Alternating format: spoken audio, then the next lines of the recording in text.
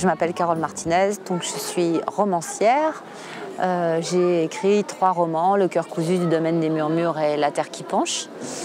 Euh, et euh, j'écris aussi des scénarios de BD. J'ai été approchée par Casterman au moment de la sortie du domaine des murmures, donc de mon deuxième roman, et ils ont eu la, la gentillesse de, de, me proposer une sorte de carte blanche.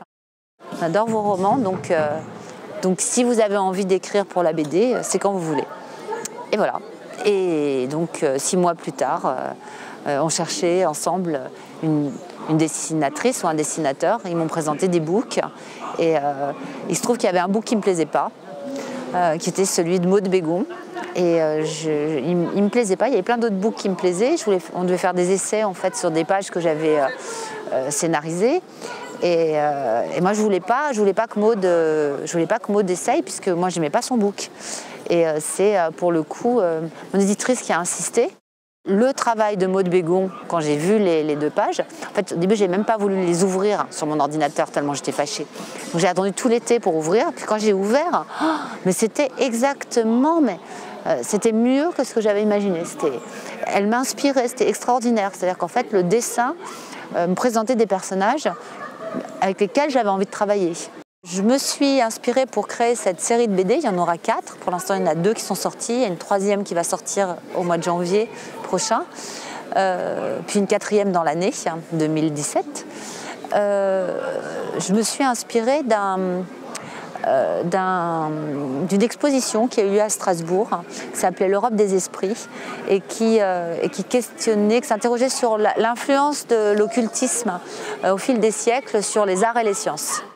J'ai appris que euh, Pierre et Marie Curie avaient été fous de spiritisme et qu'à l'époque, beaucoup de scientifiques euh, euh, s'étaient intéressés à une grande spirite qui s'appelait Eusapia Palladino et avaient fait des expériences, hein, un grand nombre d'expériences autour de cette femme. Ils l'avaient pesée, mesurée, ils avaient calculé l'électricité autour d'elle ou je ne sais pas quoi pour essayer de comprendre comment tout ça, ça fonctionnait. Ils y croyaient vraiment. Donc il y avait ça, il y avait l'importance de l'occulte sur la littérature donc moi, je, me suis intéressée en particulier à, ces deux ans et demi euh, euh, pendant lesquels Victor Hugo a interrogé les esprits euh, sur l'île de Jersey. Donc il en a fait vraiment une sorte de, Il les a fait participer à sa vie quotidienne. J'ai trouvé ça tellement magique, saugrenu, poétique, d'imaginer Victor Hugo invitant à sa table les, les plus grands euh, alors qu'il était tout seul, le pauvre, exilé sur son île. Donc ça, c'est, j'ai trouvé ça un, beau travail.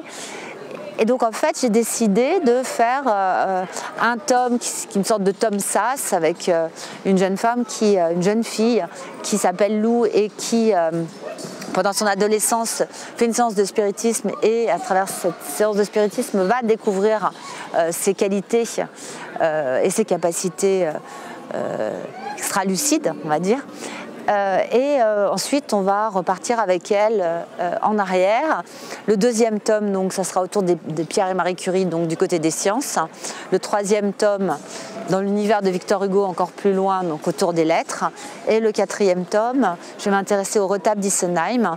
bon, là, on est vraiment à la Renaissance et, autour des arts plastiques. Je suis pleine de projets, moi. C'est une catastrophe d'ailleurs, les projets.